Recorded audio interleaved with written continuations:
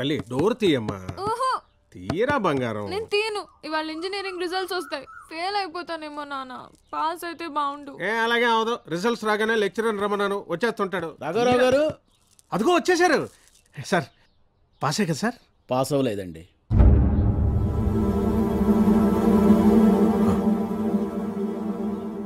నా కూతురు కోసం అబద్ధం చెప్పినా తప్పులేదు. పద్దు నువ్వు పాస్ అయిపోయావురా.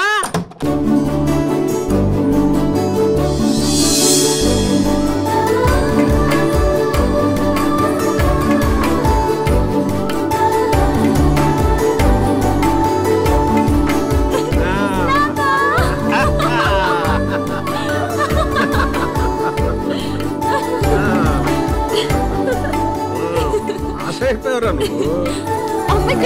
అక్కడ అక్కడ అక్కడ అక్కడ ఉన్నారు వెళ్ళండి ఏమండే? ఆ ఇంజనీరింగ్ చదువులు అవగానే అందరూ ఉద్యోగాలకి హైదరాబాద్ వెళ్తున్నారు. మీరు కూడా అమ్మాయి కానీ హైదరాబాద్ పంపిస్తారా? ఛ! దానికి ఉద్యోగం చేయాల్సిన కారణమేంట్రా అయినా దాన్ని చూడకుండా నేను ఉండగలనా? నాట్ పాసిబుల్ నేను లేదు. హైదరాబాద్కి వెళ్ళి ఉద్యోగం చేస్తాను. సరే అమ్మా నీ ఇష్టం. ఉమ్. నీ ఇష్టం అంటారేంటండి ఆ, సరే అని దానికి చెప్పి నీ ఇష్టం అని నీకు చెప్పాను. ఏం లేదురా.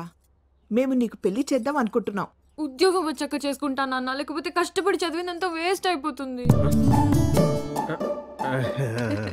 ముందు ఆయన నేను వదిలిపెట్టి ఉండాలి కదే. నువ్వు ఆగు.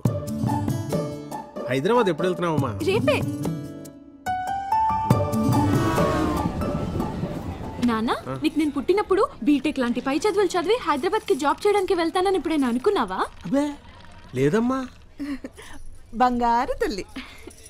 ఏదో నీకు పేరు తేవాలని రాత్రి పగలు చదివాను కానీ నాకు చదవాలని పెద్ద ఇంట్రెస్ట్ లేదు. ఇప్పుడు నీ కూతుర్ని చూస్తే నీకేమనిపిస్తుంది నాన్న అబ్బో చెప్పలేనంత ఆనందం. రాఘవరావు గారు?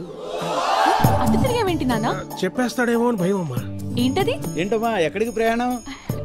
ఇంజనీరింగ్ ఎగ్జామ్ పాస్ అయ్యాను కదా సార్.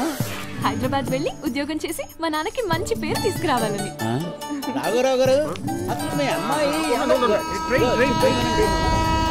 ఇదిగో రాఘవరావు గారు ట్రైన్ వస్తుంది. నువ్వు పదమ్మా నువ్వు పద. ఏమండో మిమ్మల్ని ట్రైన్ ట్రైన్ అది కాదండి. నువ్వు ఎక్కమ్మా? జాగ్రత్త, నువ్వు వెళ్ళగానే ఫోన్ చేయి. మర్చిపోతే ఏమండి ఏమండి? ఉండండి ట్రైన్ వెళ్తాం. బాయ్ ఆ, అలాగే అలాగే. Bye bye bye. ఆ, ఉద్యోగం వస్తే పార్టీ చేసుకో డబ్బులు పంపిస్తాను. మర్చిపోకుండా ఫోన్ చేయి. బాయ్ అమ్మా బాయ్. రాఘవరావు గారు. మాస్టర్ గారు ఇందాక నుంచి ఏదో చెప్పాలనుకుంటున్నారు? ఏమండి మీ అమ్మాయి ఫెయిల్ అయిందని కదా మీకు నేను చెప్పాను? అది పాస్ అవ్వాలనుకుంది కదా. ఆ. ఎంపీ అన్నయ్య? ఆ, హలో చెప్పరా? ఎరా నువ్వు చెప్పావు కదరా అమ్మాయికి ఉద్యోగం కన్ఫర్మ్ అయింది. థ్యాంక్ యూ థ్యాంక్ యూ రా. పద్దుకు ఉద్యోగం కన్ఫర్మ్ అన్నాడు. ఆ, ఏమండి ఫెయిల్ అయిన అమ్మాయి కాదండి ఉద్యోగం ఇచ్చేది? ఎవరో ఇచ్చేదేంటి? మనమే ఇస్తాం?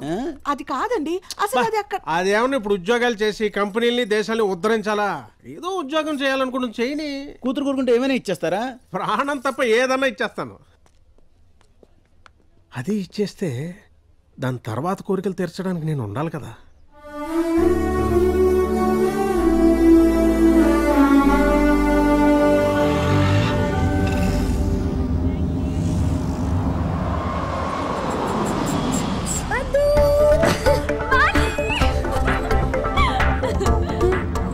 దాకా ఇదే కదా కలవడం ఇంకేంటి అమ్మ నాన్న బాగున్నారా?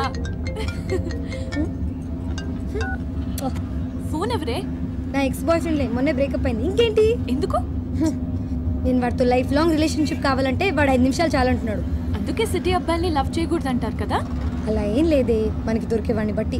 లైఫ్ లాంగ్ రిలేషన్షిప్ ఉంటే బాగుంటుంది అంతే. ఇంకేంటి? రేపటి నుంచి సిటీని పిచ్చెక్కిచ్చేద్దాం!